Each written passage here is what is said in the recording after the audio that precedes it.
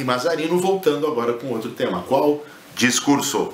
Repetindo, discurso. O que é discurso? Necessariamente não o da tribuna. Discurso no sentido da relação com o eleitor é o quê? O que dizer? Qual o texto? Qual o fundamento? Tu és governo? Tu és oposição? Tu és terceira via? Tu é quarta via? Tu é muro? Cuidado. Eleitor quer posicionamento. Para a esquerda, para a direita, para cima, para baixo. Vais para que lado? Ou o que tu não o que tu não vai fazer também, ou na campanha ou no mandato. Eleitor quer saber. Isto é discurso. Tenha foco. Pensa nisso. Até a próxima. Fui Mazarino.